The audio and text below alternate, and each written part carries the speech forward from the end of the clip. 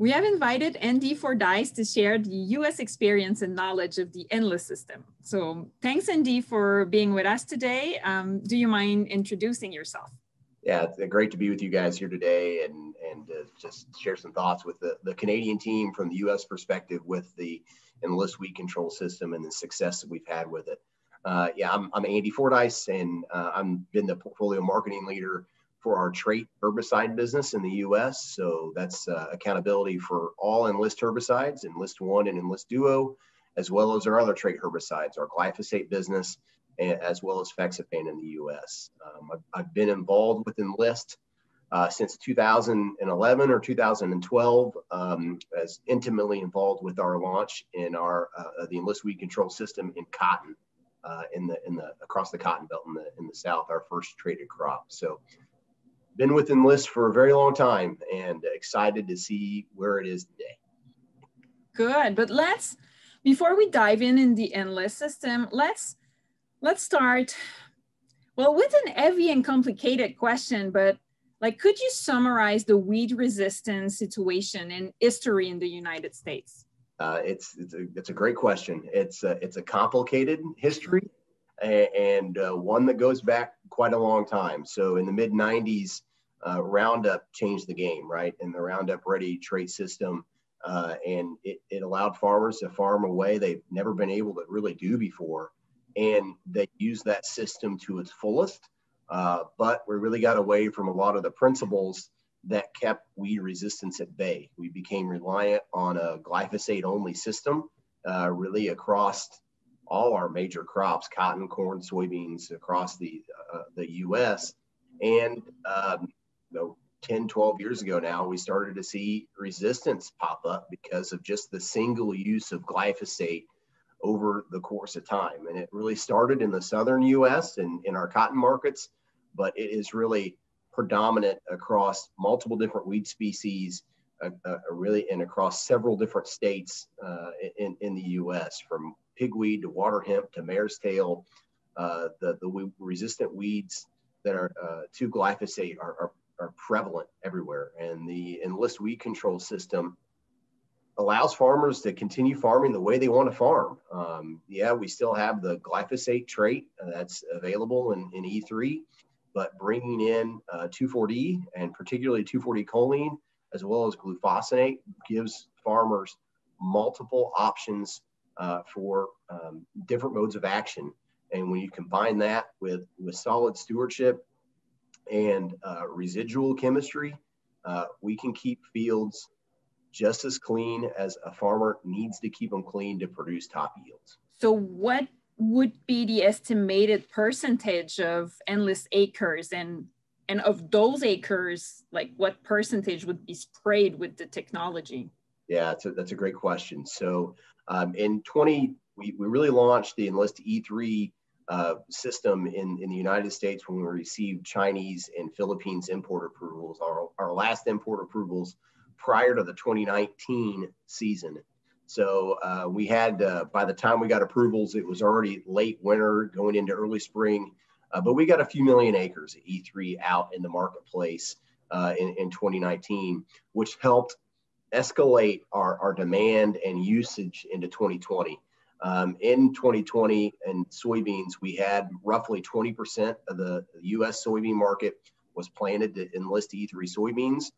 20% of our market, just for round numbers, if there's 85 million acres of soybeans in the US, that was 17 million acres of E3 soybeans that were planted in the US. In addition to that, um, Phytogen cottonseed um, is, uh, is our brand of, um, of cotton, and there was a couple million acres of cotton out there as well that had the enlist E3 soybean trait. And again, about you know 20 plus percent of the market uh, was planted to enlist cotton as well. Um, and as we go forward into 2021, we're projecting that at a minimum, we're going to see 30% of the market in the US go to enlist E3, maybe as much as 50%, depending on uh, individual territory and market. And of those acres, what we've seen consistently uh, since we launched in, Enlist and cotton and in, into soybeans is we're treating 75 80% of those acres with uh, enlist herbicides uh, today. Uh, our, our number one product we use in the US is Enlist One, and uh, really a, a, a, different regulatory reasons than, than what you'd have in the Canadian market. We, we have a tank mix website we have to use regulatory wise, uh, and Enlist One is um, you can just get far more tank mix products with it in the US than, than, uh, than you can with Enlist Duo. But just uh, tremendous success and, and, and a lot of growers utilizing the technology and, and then spraying Enlist herbicides over it. It's, it's a, a number one choice for them.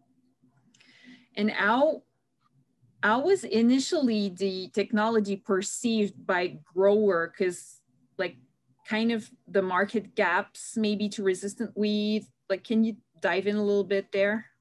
Yeah, so uh, the, the technology initially, uh, people are like, man, well, we've been using 2,4-D for, my grandpa used it 40, 50, 60 years ago, right? So that, you know, there's a, there's a certain level of comfort around 2,4-D, particularly around soybeans uh, versus versus dicamba, uh, where I mean, we've all seen the sensitivity to dicamba here uh, the last several years, and and that was evident even before uh, we launched the system. But um, you know, growers, uh, there's been a certain comfort level with 2,4-D uh, and and how people have been using it through the years, and then we had to do an ex- even though there was that that comfort level there we still have embarked on a tremendous education and stewardship initiative to to inform growers that look, our 2,4-D choline that you find in our enlist herbicides isn't the same as an amine or an ester, right? The volatility is is is near zero. The you got low potential for physical drift, and uh, and it, it, with with Colex D, that's that's made that happen. Um, and once we've proved it to growers that it's no kidding a different type of 2,4-D, that's really helped escalate our spray rate and um, off-target movement incidents of, of enlist uh, across the U.S. Are, are really incredibly small, right? Um, and um, but the, the, biggest testament I would say to that is you're not you, you don't really see any any news articles about 2,4-D drift like you do with with dicamba, right? I mean, it's been yeah. pretty quiet, and we've been on millions of acres uh, since since we've launched. So it's the chemistry is doing exactly what what it needs to do, and the uh, uh, growers have have have really adopted it well. Um, and a lot of that's to, thanks to our R and D group and technology uh, there, but also the tremendous education and stewardship efforts that have happened to make that make that go because you mentioned cotton uh, earlier uh, quite often, and it, it's a big market in the US. And I understand that cotton is very sensitive to 2,4-D, way more sensitive than soybean is. Yes. Here in Eastern, in Eastern Canada, it's more of the um, IP soybean market that is very important. So we will see an IP soybean field next to an Enlist soybean field. In, so could you speak to some known example of like laboring crop situation or? Sure, absolutely. So in, in across our, our cotton market, there's, you know, round numbers, 10 to 12 million acres of cotton in any given year, right? I mean, the market fluctuates depending on commodity prices because those farmers in the South can plant cotton or peanuts or soybeans or corn. So depending on the market price, that there's pretty quite a bit of volatility in the acres. Uh, but but as, as, you mentioned, um, cotton is incredibly sensitive to 2,4-D. Um, as an example, cotton is the 2,4-D uh, as dicamba is the soybeans. I mean, it's that it's that sensitive. Um, so what we have to do in particular in the South, uh, and we've been incredibly successful with this because, like I said a little bit earlier, about 20% or so of the market has planted enlist cotton that means 80% of the market is non-enlist cotton, uh, which is the overwhelming majority of it out there, which is highly susceptible to 2,4-D. So that's, you know, uh, uh, eight, nine million acres of non-enlist cotton. And when you go to Lubbock, Texas, that's where roughly half of the U.S. cotton market resides is in, in the area around Lubbock, Texas, which is very flat country, incredibly windy country, out there as well, and it's cotton on cotton year after year.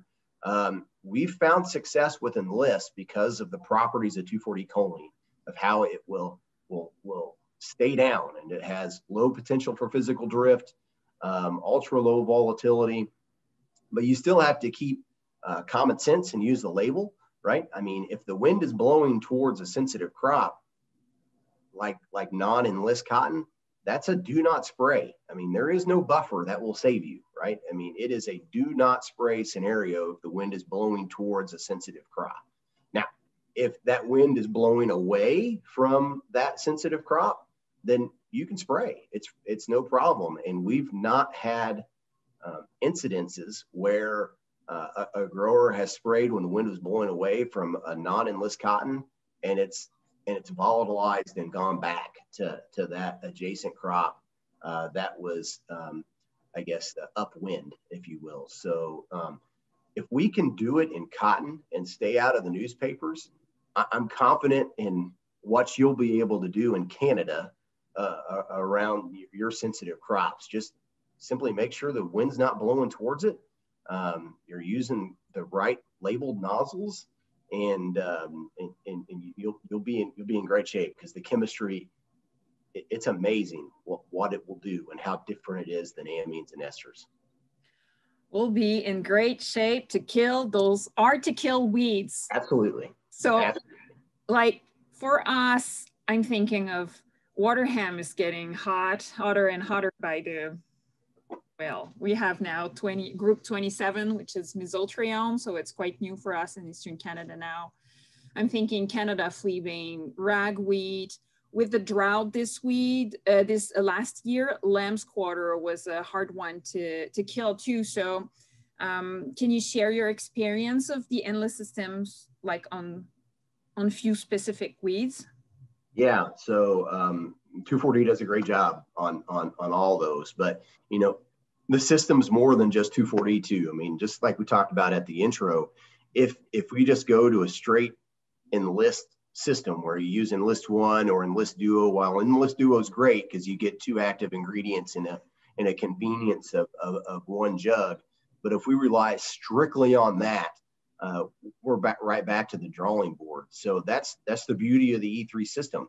You've got 2,4-D, you've got glyphosate, and you've got glufosinate in, in your back pocket to, to be able to incorporate multiple modes of action on that on that farm. So um, while enlist and herbicides are, are, are terrific tools, we have to be cognizant, and we're doing this in the U.S. of continuing to use multiple modes of action so that we can keep weeds or at bay, keep weeds at bay, and, and fields clean, and um, to make sure that the longevity of the trait is there because there's there's really nothing to date that's that's quickly approaching behind it in terms of another trait solution, right? So we've got to keep this one viable, and the way to do it is with with multiple modes of action for uh, to, to, for sound resistance management. So uh, doesn't matter what the weed species is, if it's lamb's quarters or mare's tail, palmer amaranth, whatever. Um, multiple modes of action is the way. Uh, 2,4-D is a is is an incredible product. Um, and Enlist One and Enlist Duo can do a great job, but they shouldn't shoulder that burden all on their own. They need they need other other other products out there too to, to help keep the longevity of the of the chemistry viable for for a long long time. Yeah, let's learn from that glyphosate introduction situation. absolutely, absolutely. So I understand like there's a lot, it's, it's a success, like the Enlist system in the US, a lot of licensees, um, uh, a lot of offer. So to, to kind of wrap up the, all this good information, like why do you think Enlist system has been such a success in the US and is continuing to be a success? Yeah, so licensees, I mean, certainly every Corteva brand is carrying Enlist E3 uh, soybeans, but we have um, a little over 120 different licensees in the U.S. that have taken a, a license to Enlist E3 that are are selling it in the marketplace uh, today, and that's that's a key reason why we think we can get to at least 30% of the market to plant Enlist E3 soybeans in 2020. Again, maybe as much as 50%, depending on, on the individual geography uh, that you're in. But, but why have those licensees uh, taken to it? Well, it's grower level demand, right? I mean, their customers are saying, this is what I want to plant, right? And, and why are they saying that? Because um, through the last couple of years and then the the demand that was built even before we had all the, the appropriate import approvals the, the trait does and the chemistry that supports it does exactly what we said it was going to do and um, it, i mean that's that's um, maybe it, it's it's an incredible thing to think about right? That we're just we're delivering the promise right? Uh, and uh, the expectation that was there that was really high but we're delivering on that. And the chemistry solutions that we have with enlist herbicides in the us are a, a, a, a fundamental reason why the enlist trait is successful because the chemistry is doing what it was designed to do. And there's a lot of uh, dicamba hangover in the U.S. right? And, and headaches that's that's come from that. Uh, and the enlist system uh, from a regulatory perspective it just doesn't have the headaches. And um, and and that and growers just don't want to deal with that anymore. And uh, the ability to have the freedom to spray um, not having to worry about cutoff dates um, having additives to, to, to a, a, tank to help reduce drift and volatility. I mean, it, it, the chemistry does what it said it was going to do. And, and, and that's why we've been successful in the US. And not to mention the, the other trait components with it, with Liberty and glufosinate and, and uh, glyphosate. Um, it, it's just a complete package uh, that farmers have really adopted and, and they like it. And uh, that's been what's successful for uh, is because the growers that plant the trait like the trait. They, they like what they've seen with the chemistry. And that's just uh, had our licensees gobble up as much seed supply as they can uh, so that we can get it planted on as many acres as possible. So um, major stewardship effort, a lot of education, doesn't happen overnight, uh, but we've had a lot of things that's gone into that and a lot of people on the team that help make it the success that it is. And we really look forward to a, a strong 2021 growing season, which will just make that uh, acreage expectation even higher in 2022. Awesome. This is a lot of very good information, very good knowledge. I think we're going to use that for our own stewardship and uh, a learning process. So it is much appreciated. Yeah for sharing your expertise with us today, Andy. Any last word of advice? No, no. Good luck to you. Uh, we certainly uh, wish you the best, and we know that uh, based on the experience that we've had in the U.S. really since the launch of Enlist Cotton uh, in in 2012 or, or, or 13, that if we can do it there, and then we can be as successful on tens of millions of acres in the Midwest on soybeans uh, that that you can certainly do it too in, in, Canada. So and, and we'll be watching, right? And, uh, and and rooting for your success along the way. So good luck to you. Thanks. Yes. Thank you.